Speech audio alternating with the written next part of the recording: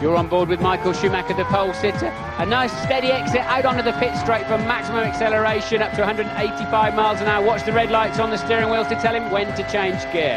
Brake hard, down three gears. It's tighter into turn one than you think. Now be careful, you can run nice and wide on the exit up the curve. It's very smooth, heading towards three. Watch his left thumb look.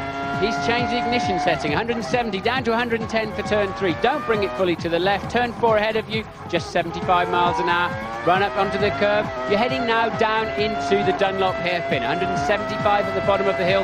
Down three gears, then another.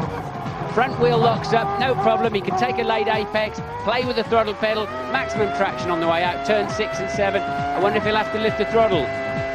Oh, just a little breather there, 160 miles an hour now. Bring it over to the right-hand side for turn eight. Bumpy under braking. Turn in early. Let the car run high. Bring it over immediately to the left for nine. Balance the throttle. Just gently, gently. Correcting the car slightly. Up, using a little bit of grass on the exit. Now it's easy downhill through the bit curve, 165 miles an hour. 180 miles an hour now before the Veedol chicane. 75 metres before the corner. Hit the brakes hard. Down to second. Attack the curbs. Be careful with the back end on the way out. Coca-Cola curve. Now you'll see Michael Schumacher, he has a lot of understeer, the front sliding look. Gets on the throttle pedal, the back steps out, has to run wide to correct it, no problem. A supreme lap from Michael Schumacher, the fastest of the weekend.